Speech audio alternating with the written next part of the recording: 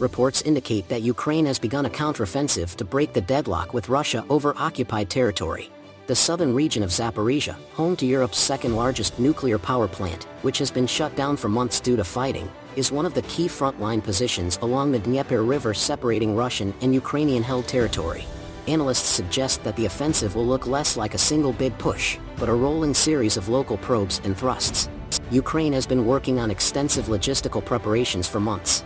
Western powers have invested huge sums in military aid, training and other forms of support for Kiev with the expectation that NATO backing would embolden the military and enable it to make battlefield gains. There's growing opposition to the Western powers' involvement in the war and that the funds would be better invested in other threats, such as China. Russia has similarly claimed that Ukraine has begun an offensive and beat back advances from Kiev.